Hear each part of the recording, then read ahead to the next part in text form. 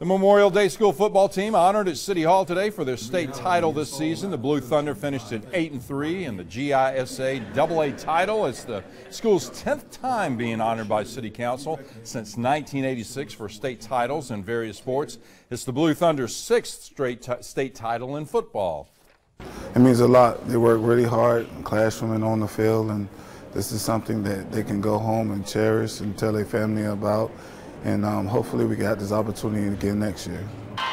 In Thompson's 10 seasons at the school, he's compiled a 96 27 1 record. The Blue Thunder won the title last year with a 21 0 win over Robert Toombs Christian Academy.